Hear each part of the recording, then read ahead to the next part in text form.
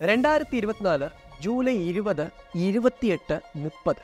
ഈ മൂന്ന് ദിവസങ്ങൾ മിഡിൽ ഈസ്റ്റിനെ സംബന്ധിച്ചിടത്തോളം വലിയൊരു യുദ്ധത്തിന് തുടക്കം കുറിക്കാൻ സാധ്യതയുള്ള പ്രധാനപ്പെട്ട പ്രശ്നങ്ങൾ തുടക്കം കുറിച്ച ദിനങ്ങളായിട്ടാണ് ഇന്ന് ചരിത്രത്തിൽ രേഖപ്പെടുത്തിയിരിക്കുന്നത്.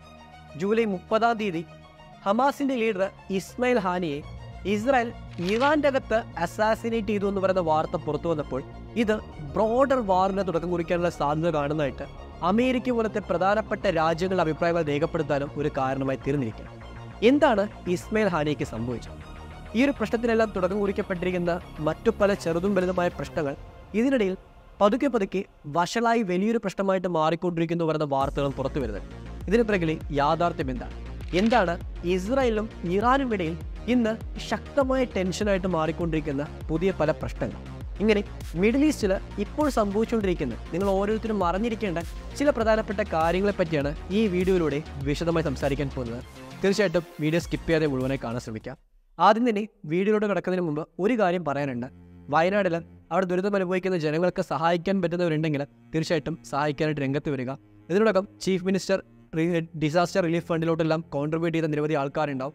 അതുപോലെ തന്നെ നിങ്ങൾക്ക് സഹായം നേരിട്ട് നൽകാൻ പറ്റുന്നവരുണ്ടെങ്കിൽ നിങ്ങൾക്ക് നേരിട്ട് വയനാട്ടിലെ ക്യാമ്പുകളിലോട്ട് സഹായം എത്തിക്കാൻ സാധിക്കും. അതുമാത്രമല്ല മുഖ്യമന്ത്രിയുടെ ദുരിതാശ്വാസ നിധിയിലോട്ടും സംഭാവന ചെയ്യാൻ സാധിക്കും. അതുകൊണ്ട് പറ്റുന്നവരെല്ലാം നിങ്ങൾക്ക് പറ്റുന്ന രീതിയിലുള്ള സംഭാവന ചെയ്യുക അവിടെയുള്ള ആൾക്കാരെ രക്ഷപ്പെടുത്താനായിട്ട് അവരുടെ പുനരധിവാസത്തിനായിട്ട് നിങ്ങളുടെ സഹായം നൽകാൻ ശ്രമിക്കാം നമുക്കിനി എന്തായാലും എന്താണ് ഈ മിഡിൽ ഈസ്റ്റിൽ ഇപ്പോൾ സംഭവിച്ചുകൊണ്ടിരിക്കുന്നത് എന്ന് പറയുന്ന കാര്യത്തെപ്പറ്റി ഒന്ന് ബ്രീഫായിട്ട് മനസ്സിലാക്കാം. രണ്ടായിരത്തി ഇരുപത്തിനാല് ജൂലൈ ഇരുപതാം തീയതി. ഈ സമയത്താണ് ഇസ്രയേലും യമനിലെ ഹൂതി യുവതിനും തമ്മിലുള്ള ഒരു ഡയറക്റ്റ് പ്രശ്നത്തിനോട് തുടക്കം കുറിക്കുന്ന ചില കാര്യങ്ങൾ സംഭവിച്ചത്. അതായത് ഈ ഇസ്രായേൽ ഹെമൻ എന്ന് പറയുന്ന രണ്ട് പ്രദേശങ്ങൾ തമ്മിൽ നല്ല ഡിസ്റ്റൻസ് ഉണ്ട്. ഓൾമോസ്റ്റ് ഒരു മൂവായിരം കിലോമീറ്ററോളം ഡിസ്റ്റൻസ് ഉണ്ടെന്നാണ് കണക്കുകൾ സൂചിപ്പിക്കുന്നത് സോ ഇത്രയും ഡിസ്റ്റൻസ് ഉള്ള ഈ രണ്ട് മേഖലകൾ തമ്മിൽ ഏറ്റവും കൂടുതൽ പ്രശ്നമായിട്ട് മാറിയത് യമനിലെ ഹൂതി യുവതിന് ഈ റെഡ് സീയിലൂടെ വരുന്ന ചരക്ക് കപ്പലുകളെ ആക്രമിക്കാൻ തുടങ്ങിയപ്പോഴാണ്. പ്രത്യേകിച്ച് ഈ ഇസ്രായേലി പൗരന്മാരുടെ ഉടമസ്ഥയുള്ള കപ്പലുകളെ ടാർഗറ്റ് ചെയ്തുകൊണ്ട് ഈ ഹൂതി ഉമദർ അറ്റാക്ക് ചെയ്യുന്നു എന്ന് പറയുന്ന വാർത്ത പുറത്തു വന്നപ്പോൾ അതിന് എന്ത് വില കൊടുത്തോ ഞങ്ങൾ നേരിടുമെന്ന് പറയുന്ന ഒരു പ്രഖ്യാപനമാണ് ഇസ്രായേൽ നടപ്പാക്കിയത് സോ ഇസ്രായേൽ ഔദ്യോഗികമായിട്ട് ഈ യമനിലെ ഹൂതി ഉമദറുടെ പ്രധാനപ്പെട്ട ടാർഗറ്റുകളെ ലക്ഷ്യം വെച്ചുകൊണ്ട് ഒരു അറ്റാക്ക് നടത്തിയിരുന്നു. അത് ജൂലൈ മാസം ഇരുപതാം തീയതിയാണ്. ഈ അറ്റാക്കിൽ മൂന്ന് പേർ കൊല്ലപ്പെട്ടതായിട്ടും മില്യൺ ഡോളറിന്റെ നാശനഷ്ടം സംഭവിച്ചതായിട്ടും പ്രധാനപ്പെട്ട നേതാക്കന്മാർ ഉൾപ്പെടെയുള്ള പലർക്കും പരിക്കുപറ്റിയതായിട്ടുള്ള വാർത്തകൾ ഇന്ന് പുറത്തു വരുന്നു അത് കഴിഞ്ഞ് ഏതാനും ദിവസങ്ങൾ കഴിയുമ്പോഴേക്കും മറ്റൊരു വാർത്ത ഇസ്രായേൽ നിന്ന് പുറത്തു വന്നിരുന്നു. ഇത് രണ്ടായിരത്തി ഇരുപത്തിനാല് ജൂലൈ ഇരുപത്തെട്ടാം തീയതി പുറത്തു വന്നതാണ് അന്ന് ഇസ്രായേലിലെ ഒരു ഫുട്ബോൾ സ്റ്റേഡിയത്തിൽ ഹെസ്ബുള്ള എന്ന് പറയുന്ന ലെബനനിലെ ഗ്രൂപ്പ് നടത്തിയ അറ്റാക്കിലൂടെ പന്ത്രണ്ട് പേർ കൊല്ലപ്പെട്ടതായിട്ടും അതിൽ കുട്ടികൾ ഉൾപ്പെടെയുള്ളവരുണ്ടായിരുന്നു പറയുന്ന വാർത്തയും പുറത്തു വന്നിട്ടുണ്ടായിരുന്നു. ഈ സമയങ്ങളിലെല്ലാം ഗസയിൽ ശക്തമായ യുദ്ധം നടന്നുകൊണ്ടിരിക്കുകയാണ്. ആ യുദ്ധത്തിൽ സാധാരണക്കാരെ നിരവധി ആൾക്കാർ കൊല്ലപ്പെട്ടുകൊണ്ടിരിക്കുന്നുണ്ട്. ഇങ്ങനെ രണ്ട് ഭാഗത്തും മാറി മാറിയുള്ള ആക്രമണങ്ങളും ശക്തമായ ചെറുനിൽപ്പുകളും നടന്നുകൊണ്ടിരിക്കുന്ന ഈ ഒരു സമയത്ത് അപ്രതീക്ഷിതമായിട്ടൊരു ട്വിസ്റ്റ് സംഭവിച്ചിരുന്നു. അതായത് ഇരുപത്തിയെട്ടാം തീയതി ലെബനിൽ നിന്ന് അതായത് ഹെസ്ബുള്ളയുടെ ആ ഒരു ഗ്രൂപ്പിന്റെ അറ്റാക്കിലൂടെ പന്ത്രണ്ട് പേർ ഇസ്രായേലിൽ കൊല്ലപ്പെട്ടപ്പോൾ അതിനുള്ള തിരിച്ചടി ഏത് നിമിഷം ഞങ്ങൾ നൽകുമെന്ന് പറയുന്ന പ്രഖ്യാപനം ഇസ്രായേൽ നടപ്പാക്കിയത്. ആ പ്രഖ്യാപനം വന്ന് കൃത്യം രണ്ട് ദിവസം കഴിയുമ്പോഴേക്കും ഹമാസിന്റെ ടോപ്പ് ലീഡറായ ഇസ്മായിൽ ഹാനിയെ ഇറാന്റെ അകത്ത് വെച്ച് ഒരു ഔദ്യോഗികമായ ചടങ്ങിൽ പങ്കെടുക്കാൻ വന്ന സമയത്ത് അറ്റാക്ക് ചെയ്ത് കൊലപ്പെടുത്തിയെന്ന് പറഞ്ഞ വാർത്ത പുറത്തു ഈ ഒരു ആക്രമണം എന്താണ് സംഭവിച്ചെന്ന് പറഞ്ഞ കാര്യം ഇന്ന് ലോകത്തിലെ ഒട്ടുമിക്ക പ്രധാനപ്പെട്ട ഇന്റർനാഷണൽ പൊളിറ്റിക്സിലെ അനലിസ്റ്റുകളും പ്ലസ് ഈ രാജ്യങ്ങൾ തമ്മിലുള്ള പ്രശ്നവും ക്രൈസിസും പറ്റി സംസാരിക്കുന്ന വിദഗ്ധരുമെല്ലാം ഒരേപോലെ ഇട്ടുനോക്കുന്ന കാര്യമായിട്ട് മാറിയിരിക്കുകയാണ്. നമുക്കിനി ആരാണ് ഇസ്മയിൽ ഹാനിയ എന്തുകൊണ്ട് ഇസ്മയിൽ ഹാനിയ ഇസ്രായേൽ അറ്റാക്ക് ചെയ്തു എങ്ങനെ അറ്റാക്ക് ചെയ്തു പറയുന്നത് മൂന്ന് പ്രധാനപ്പെട്ട കാര്യങ്ങളെ പറ്റി മനസ്സിലാക്കും. ഈ ഇസ്മയിൽ ഹാനിയ എന്ന് പറയുന്നത് ഹമാസിന്റെ ടോപ്പ് ലീഡേഴ്സിൽ ഒരാളായിട്ടായിരുന്നു രണ്ടായിരത്തി പതിനേഴ് പേര് അറിയപ്പെട്ടത്. സോ അമാസിന്റെ ടോപ്പ് ലീഡേഴ്സ് ആരൊക്കെ ചോദിക്കുകയാണെങ്കിൽ ഒന്ന് യഹിയ സിൻവാർ എന്ന് പറയുന്ന ഒരു ലീഡർ ഉണ്ട്. അതുപോലെ തന്നെ ഈ ഇസ്മയിൽ ഹാനി ഉണ്ട്. ഇതോടൊപ്പം തന്നെ ഹമാസിന്റെ മിലിറ്ററി വിങ്ങിനെ കമാൻഡ് ചെയ്യുന്ന മുഹമ്മദ് ദെയ്ഫ് എന്ന് പറയുന്ന ഒരു വ്യക്തിയുമുണ്ട് ഇവർ മൂന്ന് പേരുമാണ് ഹമാസിന്റെ ടോപ്പ് ലീഡേഴ്സ് ആയിട്ട് നിലവിലുള്ളത്. ഈ മൂന്ന് പേരിൽ ഓൾറെഡി മുഹമ്മദ് ദെയ്ഫിനെ കഴിഞ്ഞ മാസം സംഭവിച്ച അറ്റാക്കിലൂടെ ഞങ്ങൾ വകവരുത്തി എന്ന് പറയുന്ന പ്രഖ്യാപനം ഇസ്രയേൽ നടപ്പാക്കിയിരുന്നു ഇതിനെതിരെ ഒരു ഔദ്യോഗികമായ കൺഫർമേഷനും ഹമാസ് നൽകിയിട്ടില്ല. ഈ സമയത്താണ് ഹമാസിന്റെ ലീഡർഷിപ്പ് അവരുടെ അധികാര തലപ്പത്തിരിക്കുന്ന ആൾക്കാരെ ഓരോന്നായിട്ട് ഇസ്രായേൽ എലിമിനേറ്റ് ചെയ്യുന്നു എന്ന വാർത്ത പുറത്തു വന്നത്. ഈ ഒക്ടോബർ ഏഴാം തീയതി രണ്ടായിരത്തി ഇരുപത്തി മൂന്നിൽ ആദ്യമായിട്ട് ഇസ്രായേലിനകത്തോട്ട് ഹമാസ് നടത്തിയ ആക്രമണത്തിന് ശേഷം അന്ന് ഇസ്രായേലിന്റെ പ്രൈം മിനിസ്റ്റർ പ്രഖ്യാപിച്ച കാര്യമാണ് എന്ത് വില കൊടുത്തും ഈ ആക്രമണത്തിന് ആസൂത്രണം ചെയ്തിരിക്കുന്ന ഹമാസിന്റെ ലീഡേഴ്സിനെ എലിമിനേറ്റ് ചെയ്യുമെന്ന്. അങ്ങനെയാണ് ജൂലൈ മുപ്പതാം തീയതി ഹമാസിന്റെ ടോപ്പ് ലീഡേഴ്സിൽ ഒരാളായിരിക്കുന്ന ഇസ്മയിൽ ഹാനിയെ ഇറാന്റെ അകത്ത് വെച്ച് അസാസിനേറ്റ് ചെയ്യുന്ന വാർത്ത പുറത്തു വന്നത്. ഈ ഇസ്മയിൽ ഹാനിയ പൊളിറ്റിക്കലി വളരെയധികം സ്ട്രോങ് ആയിരിക്കുന്ന പേഴ്സണാണ് പ്രത്യേകിച്ച് ഡിപ്ലോമാറ്റിക്കലി അതായത് രാജ്യങ്ങൾ തമ്മിലുള്ള നയതന്ത്രപരമായിട്ടുള്ള നീക്കങ്ങളിലൂടെ ഹമാസിന് പൂർണമായ സപ്പോർട്ട് നൽകുന്ന രീതിയിൽ പല പ്രഖ്യാപനങ്ങളും പല നീക്കങ്ങളും ഇസ്മയിൽ ഹാനി എടുത്തു വെച്ചിട്ടുണ്ട്. അതിൽ ഏറ്റവും ശ്രദ്ധേയമായ കാര്യം ഖത്തർ ബേസ് ചെയ്തുകൊണ്ട് ഹമാസിനെ ഒരു പൊളിറ്റിക്കൽ പാർട്ടിയായിട്ട് പ്രഖ്യാപിച്ചുകൊണ്ട് ആ പൊളിറ്റിക്കൽ പാർട്ടിക്ക് ഫണ്ടിങ് നേടാനും അതുവഴി ഹമാസിനെ കൂടുതൽ സ്ട്രോങ് ആക്കാനായിട്ടും ഇസ്മയിൽ ഹാനിയെ ശ്രമിച്ചു എന്ന് പറയുന്ന കാര്യമാണ്. ഇസ്മയിൽ ഹാനിക്ക് നേരെ ഏറ്റവും കൂടുതൽ ഉയർന്നു വരുന്ന ആരോപണമാണ് ഗസയിലെ സാധാരണക്കാർക്ക് സംഭാവനയായിട്ട് ലോകത്തിലെ പല കോണിൽ നിന്ന് വന്നിരിക്കുന്ന ഫണ്ട് ദുരുപയോഗം ചെയ്തു എന്ന് പ്രത്യേകിച്ച് ഇസ്മയിൽ ഹാനിയുടെ നെറ്റ്വർക്ക് മൊത്തം അസറ്റ് വാല്യൂ എന്ന് പറയുന്നത് പതിനൊന്ന് ബില്യൺ അമേരിക്കൻ ഡോളർ എന്ന് പറയുന്ന കണക്കുകളും പലപ്പോഴായിട്ട് പല പാശ്ചാത്യ മാധ്യമങ്ങളും അറബ് മാധ്യമങ്ങളും റിപ്പോർട്ട് ചെയ്തിട്ടുണ്ട്. ഈ ഇസ്മയിൽ ഹാനിക്കെതിരെ പലപ്പോഴായിട്ട് അറബ് രാജ്യങ്ങളിലെ പല പൊളിറ്റിക്കൽ ലീഡേഴ്സും എതിരഭിപ്രായം രേഖപ്പെടുത്തി കാണാൻ സാധിക്കും പ്രത്യേകിച്ച് അയാളുടെ സ്വന്തം പൊളിറ്റിക്കൽ ബെനിഫിറ്റിനും ലാവിഷ് ലൈഫ് സ്റ്റൈലിനും വേണ്ടിയിട്ട് ജനങ്ങൾക്ക് വന്നിരിക്കുന്ന ഫണ്ട് ദുരുപയോഗം ചെയ്തു എന്ന ആരോപണം ശക്തമായി തുടരുന്നൊരു സമയം കാണാൻ സാധിക്കും ഇങ്ങനെ ഇരിക്കുന്ന സമയത്താണ് ഇസ്മയിൽ ഹാനിയ ഇറാന്റെ അകത്ത് ഇറാന്റെ പുതിയ പ്രസിഡന്റ് അധികാരത്തിലേറുന്ന ആ ഒരു ചടങ്ങിൽ പങ്കെടുക്കാനായിട്ട് ചെല്ലുന്നത്. ആ ചടങ്ങ് ജൂലൈ മുപ്പതാം തീയതി രണ്ടായിരത്തി ഇരുപത്തിനാലാണ് നടക്കുന്നത്. ഈ ചടങ്ങിൽ ചെന്നിരിക്കുന്ന ഇസ്മയിൽ ഹാനിയ ആ ചടങ്ങിൽ പങ്കെടുക്കുകയും ഇറാന്റെ പ്രധാനപ്പെട്ട പല ടോപ്പ് ലീഡേഴ്സുമായി ചേർന്നുകൊണ്ട് ആ ചടങ്ങിൽ ഇസ്രായേലിന് അവസാനം അവസാനം കാണുന്നവരെ പോരാടുമെന്ന് പറഞ്ഞ പ്രഖ്യാപനം നടപ്പാക്കുകയും പുതിയ ഇറാന്റെ പ്രസിഡന്റിനെ വരവേറ്റുന്നതുമെല്ലാം കാണാൻ സാധിക്കും. ആ വീഡിയോസ് എല്ലാം പുറത്തു വന്ന ഏതാനും മണിക്കൂറുകൾക്കകം ഇസ്മയിൽ ഹാനിയ ആ ഇസ്മയിൽ ഹാനിക്ക് നൽകിയിരിക്കുന്ന ഔദ്യോഗികമായ വസതിയിൽ കൊല്ലപ്പെട്ടു എന്ന് വാർത്ത പുറത്തു വന്നു. ഒരു ബോംബ് ബ്ലാസ്റ്റിലൂടെയാണ് കൊലപാതകം നടന്നെന്ന് പറയുന്ന വാർത്തയും സ്ഥിരീകരിക്കപ്പെട്ടിരുന്നു. ആദ്യഘട്ടങ്ങളിൽ ഇസ്രായേൽ നടത്തിയ റോക്കറ്റ് ആക്രമണത്തിലാണ് ഇസ്മയിൽ ഹാനിയെ കൊല്ലപ്പെട്ടു എന്നുള്ള വാർത്തകൾ വന്നത്. പക്ഷേ ഇസ്മയിൽ ഹാനിയെ എലിമിനേറ്റ് ചെയ്തത് രണ്ട് മാസം മുമ്പ് പ്ലാൻ ചെയ്ത് നടപ്പാക്കിയ ഒരു നീക്കത്തിലൂടെയാണെന്ന് പറയുന്ന വാർത്ത ഇന്ന് പല പാശ്ചാത്യ മാധ്യമങ്ങളും റിപ്പോർട്ട് ചെയ്തുകൊണ്ടിരിക്കുന്നത്.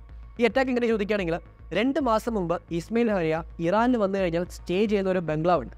ആ ബംഗ്ലാവ് ഏതാണെന്ന് പറയുന്ന കാര്യത്തെപ്പറ്റി മനസ്സിലാക്കി അതിനകത്ത് ഒരു ബോംബ് ഇംപ്ലാന്റ് ചെയ്തിട്ടുണ്ട്. ഈ ബോംബിനെ റിമോട്ട് ഉപയോഗിച്ചുകൊണ്ട് ആർട്ടിഫിഷ്യൽ ഇന്റലിജൻസ് ഉപയോഗിച്ചുകൊണ്ട് ആ ആ, ബംഗ് ബംഗ്ലാവിന്റെ അകത്തോട്ട് ഇസ്മയിൽ ഹാനി എത്തിക്കഴിഞ്ഞാൽ അറ്റാക്ക് ചെയ്യാൻ പറ്റുന്ന രീതിയിൽ സെറ്റ് ചെയ്യാനായിരുന്നു ഇസ്രായേൽ തീരുമാനമെടുത്തായിട്ടും അങ്ങനെ കൃത്യം ഇസ്മയിൽ ഹാനി അവിടെ വന്ന് ഈ ചടങ്ങിൽ പങ്കെടുത്ത് തിരികെ ബംഗ്ലാവിലോട്ട് പോയ സമയത്ത് അറ്റാക്ക് നടത്തി കൊല കൊലപ്പെടുത്തിയെന്ന് പറയുന്ന സ്ഥിരീകരണമാണ് ഇന്ന് ന്യൂയോർക്ക് ടൈംസ് പോലത്തെ പാശ്ചാത്യവാദം റിപ്പോർട്ട് ചെയ്തിരിക്കുന്നത്. സോ രണ്ട് മാസം മുമ്പ് ഇംപ്ലാന്റ് ചെയ്ത ബോംബ് അത് ഇറാന്റെ അകത്ത് ഇസ്രായേൽ നടപ്പാക്കിയ ഒരു വലിയൊരു ആസൂത്രണമായ നീക്കമാണെന്ന തരത്തിൽ നിന്ന് മാറിക്കൊണ്ടിരിക്കുമ്പോൾ ഇത് ഇറാനും വലിയൊരു കളങ്കമായിട്ട് മാറിയിരിക്കാം ഇസ്മയിൽ ഹാനിയെ കൊല്ലപ്പെട്ട അതേ ദിവസം മറ്റൊരു പ്രധാനപ്പെട്ട വാർത്തയും പുറത്തു വന്നത് അതായത് ലെബനിൽ നിന്ന് ഇസ്രായേലിനെ ലക്ഷ്യം വെച്ചുകൊണ്ട് ഒരു ആക്രമണം ജൂലൈ ഇരുപത്തെട്ട് നടന്നിരുന്നു. അതിൽ പന്ത്രണ്ട് പേര് കൊല്ലപ്പെട്ടിട്ടുണ്ട്. ആ ആക്രമണം നടത്തിയ ആ ഒരു മൊത്തം വിങ്ങിന്റെയും കമാൻഡറായിട്ട് വിശേഷിപ്പിക്കുന്ന ലെബനന്റെ എസ്ബുള്ളയിലെ ഒരു ടോപ്പ് ലീഡറിനെ വകവരുത്താനായിട്ട് ഇസ്രായേൽ ജൂലൈ മുപ്പതാം തീയതി ഇസ്മയിൽ ഹാനി കൊല്ലപ്പെട്ട അതേ ദിവസം തന്നെ ഒരു കൗണ്ടർ അറ്റാക്ക് നടത്തിയതായിട്ടും അതിൽ ലെബനിലെ ഒരു ടോപ്പ് മിലിറ്ററി കമാൻഡ് എസ്ബുള്ളയുടെ ടോപ്പ് മിലിറ്ററി കമാൻഡ് കൊല്ലപ്പെട്ടതായിട്ടും സ്ഥിരീകരണം വന്നിട്ടുണ്ട്. ഞാൻ ഈ സൂചിപ്പിച്ച വ്യത്യസ്തമായ ഇൻസിഡൻസ് കൃത്യമായിട്ട് വിരൽ ചൂണ്ടുന്ന ഒരു പ്രധാനപ്പെട്ട കാര്യമാണ്. അതായത് ഇസ്രയേലും ഇറാനും തമ്മിലുള്ള പ്രോക്സി വാർ ഇനി പ്രോക്സി വാറായിട്ട് തുടരുന്നില്ല. മറിച്ച് ഒരു ഓപ്പൺ വാറായിട്ട് മാറിക്കൊണ്ടിരിക്കുന്നു പറയുന്ന കാര്യം. അതായത് ഇത്രയും കാലം ചെറുതും വലുതുമായ ഗ്രൂപ്പുകൾ ഉപയോഗിച്ചുകൊണ്ടാണ് ഇറാനും ഇസ്രായേൽ തമ്മിലെ സംഘർഷം വലുതായിട്ട് വന്നത്. പക്ഷേ ഇനി അങ്ങോട്ട് ഇറാൻ ഇസ്രായേൽ എന്ന് പറയുന്ന രണ്ട് രാജ്യങ്ങൾ തമ്മിലുള്ള നേരിട്ടുള്ള സംഘർഷമായിട്ട് ഇത് മാറാൻ പോകുന്നു എന്ന് പറയുന്ന സൂചനകളാണ് ഇതിനോടൊപ്പം പുറത്തു വരുന്നത്. എന്താണ് ഈ സൂചനകളെന്നും എങ്ങനെയാണ് ഈ ഇൻസിഡൻസ് എല്ലാം അതിലോട്ട് കണക്ട് ചെയ്യുന്നു എന്ന് പറയുന്ന കാര്യത്തെപ്പറ്റിയുമാണ് ഇനി മനസ്സിലാക്കേണ്ടത്. ഒന്നാമതായിട്ട് പറഞ്ഞ കാര്യമായിരുന്നു ജൂലൈ ഇരുപതിന് യമനിലെ ഹൂതി യുവതർക്ക് നേരെ ഇസ്രായേൽ നടത്തിയ ആക്രമണം. ഈ ഹൂതി യുവതർ എന്ന് പറയുന്ന ഇറാൻ സപ്പോർട്ട് ചെയ്യുന്ന ഒരു മിലിറ്റിയ ഗ്രൂപ്പാണ് ആ ഗ്രൂപ്പിനുള്ള എല്ലാ ഫണ്ടിങ്ങും സപ്പോർട്ടും ചെയ്യുന്ന പ്രധാനപ്പെട്ട ഒരു രാജ്യമാണ് ഇറാൻ എന്ന് പറയുന്നത്. സോ ആ രാജ്യത്തിന് നേരെ ഇസ്രായേൽ ആക്രമിച്ചു. രണ്ടാമതായിട്ടുള്ള ഹെസ്ബുള്ള എന്ന് പറയുന്ന ഒരു മേജർ ലെബനനിലെ ഗ്രൂപ്പ് ആ ഗ്രൂപ്പിന് നേരെയും അവരുടെ ഒരു കമാൻഡറെ എലിമിനേറ്റ് ചെയ്യാനായിട്ടും ഇസ്രായേൽ സാധിച്ചു.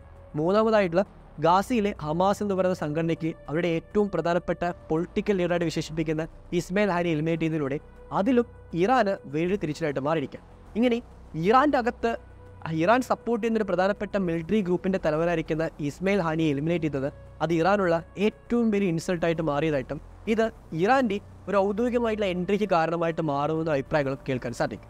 ഏറ്റവും കൂടുതൽ അമേരിക്കൻ പ്രസിഡന്റ് ജോ ബൈഡൻ പറഞ്ഞിരിക്കുന്ന കാര്യമാണ് ഈ ആക്രമണം. അതായത് ഇസ്മയിൽ ഹാനിയ മരണപ്പെട്ടത് അത് ഇസ്രായേലും ഹമാസും തമ്മിലുള്ള ആ ഒരു പീസ് ടോക്കിലെ കാര്യമായിട്ടുള്ള പ്രശ്നമായിട്ട് മാറുമെന്നും അതൊരിക്കലും ശരിയായ തീരുമാനമായിരുന്നില്ല എന്ന തരത്തിലും ജോ ബൈഡന്റെ ഭാഗത്ത് വന്നിരിക്കുന്ന പ്രതികരണം കാണാൻ സാധിക്കും.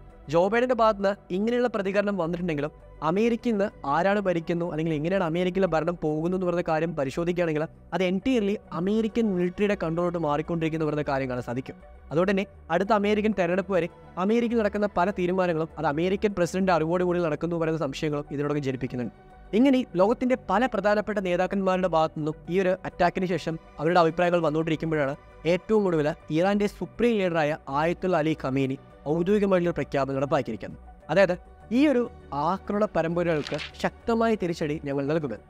ഇറാന്റെ അകത്ത് വന്ന് ഇറാന്റെ ഒരു പ്രധാനപ്പെട്ട പാർട്ണർ ഗ്രൂപ്പിന്റെ ലീഡറെയാണ് ഇസ്രായേൽ എലിമിനേറ്റ് ചെയ്തിരിക്കുന്നത് അതുകൊണ്ട് തന്നെ ശക്തമായ തിരിച്ചടി ഞങ്ങൾ നൽകുമെന്നും അതിനുള്ള തയ്യാറെടുപ്പുകൾ ഇറാൻ നടത്തിക്കഴിഞ്ഞു പറഞ്ഞ പ്രഖ്യാപനമാണ് ഇന്ന് ഇറാന്റെ സുപ്രീം ലീഡർ നടപ്പാക്കിയിരിക്കുന്നത്. അതുകൊണ്ട് തന്നെയാണ് ഇത് ഇറാനും ഇസ്രായേലും തമ്മിലുള്ള ഒരു ഓപ്പൺ വാറായിട്ട് മാറിക്കൊണ്ടിരിക്കുന്നു പറയുന്ന കാര്യത്തിലോട്ട് വിരൽ ചൂണ്ടുന്നതായിട്ട് കാണാൻ സാധിക്കുന്നത്. ഞാൻ ഈ പറഞ്ഞ കാര്യങ്ങളിൽ കേൾക്കുമ്പോൾ നിങ്ങളുടെ മനസ്സിൽ വന്നേക്കാം. എന്തുകൊണ്ട് ഈ രാജ്യങ്ങൾ ഇങ്ങനെ പരസ്പരം കലയിച്ചുകൊണ്ടിരിക്കുന്നത് മതമല്ല ഇതിനുള്ള പ്രധാനപ്പെട്ട കാരണമെന്നും നിങ്ങൾക്ക് തോന്നിയേക്കാം. പക്ഷേ മതം എന്ന് പറയുന്ന ഞാൻ എപ്പോഴും പറയുന്ന ഒരു കാര്യമാണ് ഈ മൊത്തം ഇന്റർനാഷണൽ പൊളിറ്റിക്സിലെ ഒരു പ്രധാനപ്പെട്ട മറയാണ്. ഇവിടെ പല നേതാക്കന്മാർക്കുള്ള പൊളിറ്റിക്കൽ ബെനിഫിറ്റും അവർക്ക് വേണ്ടിയുള്ള താല്പര്യവും ഒരു പ്രധാനപ്പെട്ട കാരണമായിട്ട് മാറിക്കൊണ്ടിരിക്കുന്നുണ്ട്. അതിനുള്ള പ്രധാനപ്പെട്ട ഒരു ഉദാഹരണമാണ് ഇന്ന് ഇസ്രായേലകത്തുള്ള ബെഞ്ചമിൻ നെതന്യാഹുവിന്റെ ഭരണകൂടത്തിന് കാര്യമായ പ്രശ്നം ഫേസ് ചെയ്യേണ്ടി വരുമ്പോൾ അതിനെ ഡേവിഡ് ചെയ്യാനായിട്ട് അതിൽ നിന്ന് ശ്രദ്ധ മാറ്റുവാനായിട്ട് ഇന്ന് ഇത്തരം അറ്റാക്കിലൂടെ ഇസ്രായേൽ പ്രസിഡന്റിന് സാധിക്കുന്നു പ്രൈം മിനിസ്റ്ററിന് സാധിക്കുന്നു പറയുന്നൊരു കാര്യം. അതേപോലെ തന്നെയാണ് ഇറാന്റെ അകത്ത് നടക്കുന്ന പൊളിറ്റിക്കൽ പ്രോബ്ലം പ്ലസ് ഗാസയുടെ അകത്തുള്ള പ്രശ്നങ്ങളുമെല്ലാം ഒരേപോലെ വിരൽ അതുകൊണ്ട് ലോകത്തിലെ പല നേതാക്കന്മാരും ജനങ്ങളെ കുരുതി കൊടുത്തുകൊണ്ട് അവരുടെ ലാഭം നേടാനായിട്ട് ഇത്തരം അവസരം കൃത്യമായിട്ട് ഉപയോഗിക്കുന്നു പറയുന്നതിൽ ഒരു തർക്കവുമില്ല. സോ ഓവറോളായിട്ട് ഈ കാര്യമെല്ലാം കേൾക്കുമ്പോൾ നിങ്ങൾക്ക് എന്താണ് തോന്നുന്നതെന്നും ഇറാനും ഇസ്രായേൽ തമ്മിലുള്ള ഒരു ഡയറക്റ്റ് വാറിനോട്ട് നീങ്ങുമോ എന്ന് പറയുന്ന നിങ്ങളുടെ അഭിപ്രായങ്ങളും താഴെ ബോക്സിൽ രേഖപ്പെടുത്താം. സോ ദാറ്റ്സ് ഓൾ ഇത്രയും കാര്യമാണ് വീഡിയോയിൽ പറയാമെന്ന് വിചാരിച്ചത്. സോ വീഡിയോ കണ്ട എല്ലാവർക്കും വളരെയധികം നന്ദി. ഞാൻ പറഞ്ഞ പോലെ വയനാടിനെ സഹായിക്കാൻ പറ്റുന്നവരെ സഹായിക്കാൻ രംഗത്ത് വരിക. സോ ഒരിക്കൽ കൂടെ നിങ്ങളുടെ അഭിപ്രായങ്ങൾ രേഖപ്പെടുത്താൻ മറക്കാതിരിക്കാൻ ഓർപ്പെടുത്തിക്കൊണ്ട് വീഡിയോ വൈൻഡപ്പ് ചെയ്യുന്നു. Thank you for this video Jai Hind.